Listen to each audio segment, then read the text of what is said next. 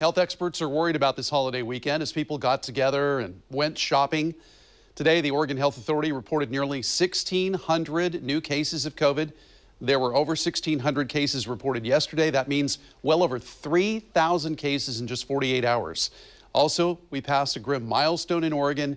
Now more than 900 people have died from the virus. The deaths of nine additional people reported today. 11 deaths were reported yesterday.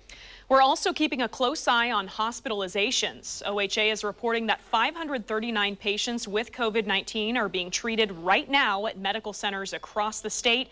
That's 10 more than yesterday. 107 of those people are in the ICU.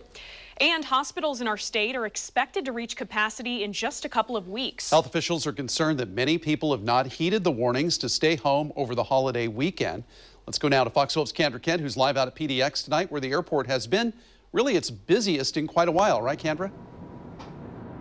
Yeah, that's right, Wayne. In fact, today is the busiest travel day for PDX here of the Thanksgiving weekend. And I definitely was able to notice an uptick today as compared to when I was here on Tuesday. Now, airport officials say more than 25,000 people will come out of in and out of PDX here today. And for health officials, that is plenty reason to be nervous for what's to come. It's PDX's busiest day of the Thanksgiving weekend. And locals are back home Sunday night after spending the holiday spread across the country. Yeah, we were in Dallas, Texas. We went to see family for Thanksgiving. We went to uh, Phoenix, Arizona. Warm weather and the chance to visit his girlfriend's family lured Alejandro Echeverri to the desert state.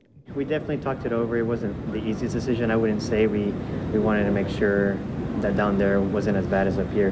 They probably got, pretty much have the same guidelines as us, so I felt, you know, relatively safe and could do most of the things that we plan out to do. With Thanksgiving behind us, state and federal health officials now brace for the repercussions. The expected super surge in COVID 19 cases due to all the traveling. We made the plans back in June, so yeah, okay. we didn't want to cancel, and it turned out being definitely worth the trip. Annalise Hutley says her family felt perfectly safe flying to Texas. So there were rows open in between us. So there was an open seat in between us. They had hand sanitizer. They were passing out. Everybody had masks on. To be honest, we weren't really that afraid to travel or, or to go fly out there. I mean, it's not something that we're as concerned about. As for Echeverri, it's back to work Monday. Unfortunately, for at least for what I do, I, I wouldn't be able to do the two-week quarantine. Um, but I, I mean, I advised my job that I was going out, and they just kind of told me, you know, stay safe.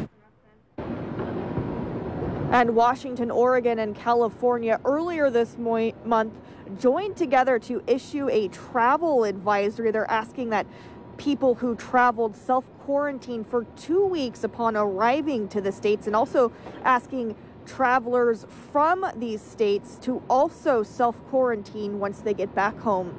Reporting tonight at PDX, Kendra Kent, Fox 12 Oregon.